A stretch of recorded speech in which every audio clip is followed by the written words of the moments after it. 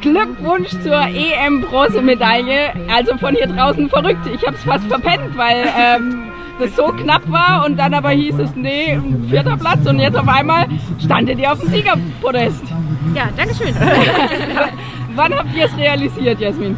ähm, ja, wir waren erst ein bisschen traurig, weil wir dachten, wir sind Vierte und dann kam aber der Karl Haug zum Steg und hat uns gratuliert und meinte, wir sind ähm, zeitgleich mit den Belgierinnen und dann von ging die Laune auf einmal wieder ganz nach oben und ja. Steffi, wie zufrieden wart ihr mit dem Rennen?